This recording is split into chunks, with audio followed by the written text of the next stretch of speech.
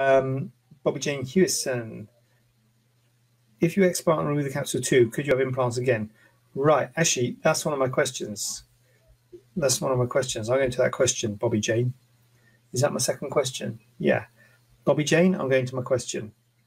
Olivia, your request to be in your live video. You don't want to be in my live. That'll make you come on screen like I was yesterday. Um, so where's that? Here we go. I hope this email finds you well. I had a breast augmentation in April 2013. Following this, I feel I have always had issues with my left breast and have been experiencing on and off pain in it for a while. I've also read about the small but worrying risk of BIALCL, sorry, BIA-ALCL, which stands for breast implant illness, um, oh, blimey, O'Reilly, breast implant associated anaplastic large cell lymphoma, BIA-ALCL. Uh, therefore, I've come to the decision that I really like my implants removed and a total capsulectomy. So, um, though, so yeah, this is a patient who's got pain on and off for a while and is uh, worried about ALCL. Um, ALCL is a very rare cancer and it is associated with a lump or a swelling in the breast. And if you are worried about it, then you should get your breast checked out by all means. But if there is no evidence of ALCL and no evidence of a lump or a swelling, you don't need to have your implants removed. Now, having said that, if you feel like you want to have your implants removed, absolutely, it is your um, right or you know your you know, decision to have your implants removed. That's absolutely fine, no problem at all. You can have your implants removed.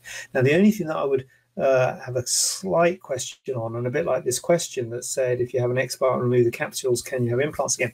Is whether you remove the capsules. That is a bit of a, a question as what you do with the capsule if you're going to remove the implant.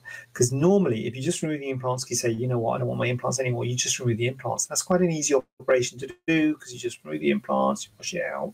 You probably don't need to do much to the capsule at all.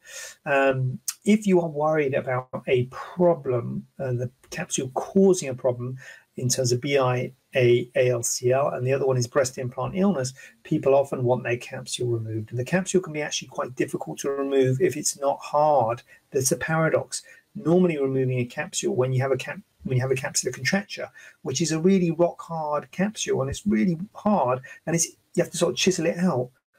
Actually, when it's really soft and it's sort of integrated with the tissues, it can be really hard to do a total capsulectomy. And you don't need a total capsulectomy. There's nothing wrong with your capsule. You don't need a total capsulectomy. So I think this is a discussion we'd have to have because it might be quite hard to do a total capsulectomy. It might cause some problems doing a total capsulectomy in terms of the bleeding and in terms of removing some breast tissue because it's hard to differentiate capsule from the breast tissue. And so that might cause some issues. So that's a discussion we'd have to have because you don't absolutely need to have your capsules removed if you're having a total capsulectomy. But back to this question here saying, um, if you explant and remove the capsules too, can you have implants again? Absolutely. Yeah, yeah, yeah. You can have implants again, no problem at all. And that's an operation, a capsulectomy and implant replacement. Perfectly fine to do an explant and replace the capsule.